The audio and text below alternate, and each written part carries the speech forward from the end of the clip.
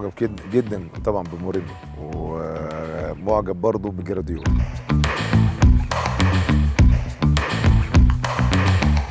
كلوب اتعلم منه حاجات كتيره النجاحات اللي محققها ديت اللي انت شايفها دي كلها سواء في بريمي في في ألمانيا أو في الدوري الإنجليزي.